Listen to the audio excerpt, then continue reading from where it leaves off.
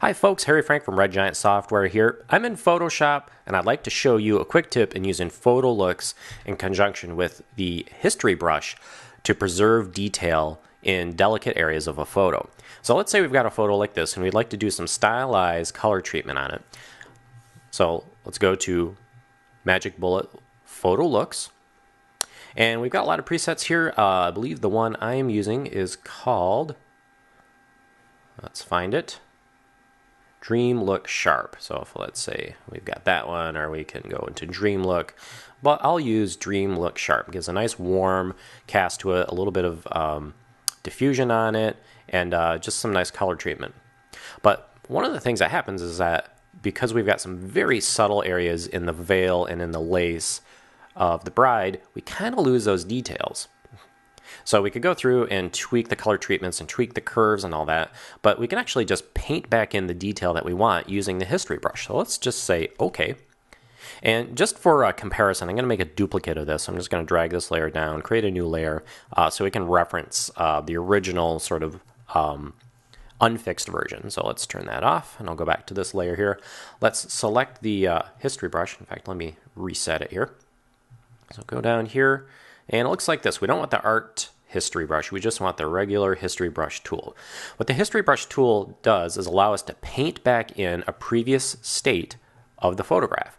So if we have our uh, history window open here, we can see all the previous states that uh, we have as we do various things. So if I do something like a uh, healing brush treatment, um, then we'll see uh, that new state come in. Whoops, it looks like we uh, so, so paint out a, a couple things here.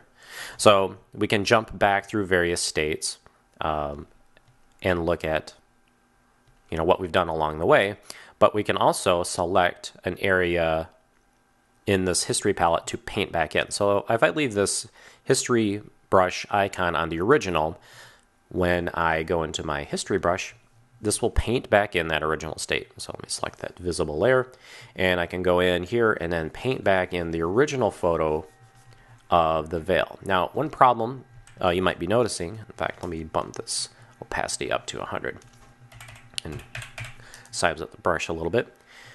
It is painting back in the detail, but it's painting it back without the color treatment. And this doesn't do a whole lot of good. But here's where it's really cool to use the history brush versus uh, you know duplicating and using masks and managing two different layers to have uh, detail layers and and uh, color corrected layers. I can go in to this history brush and select a different mode for it. I'm going to select luminosity. So effectively, what I'm painting back in is going to take that image that I'm painting back in and blend it with this layer using the blending mode that I've selected. So I can paint back in the original layer only using the luminance of that original layer, which is what we want to do. We want to preserve this yellow uh, tint, but we want some of that original luminance detail. So I can go through and just kind of paint in, nudge that down a little bit, paint in some of the detail of that veil. Because I'm sure it was an expensive veil. Oops, I bumped the shoulder a little bit there.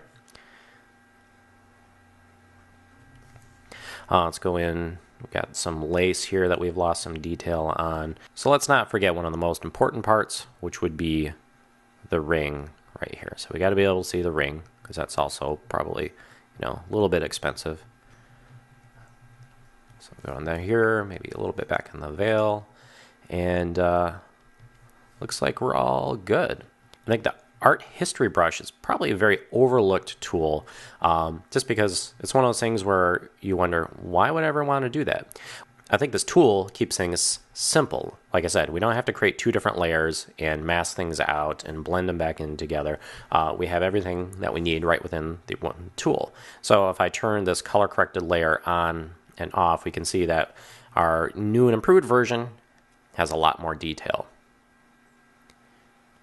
so you can see more about photo looks at redgiantsoftware.com. My name is Harry Frank. Thanks so much for watching.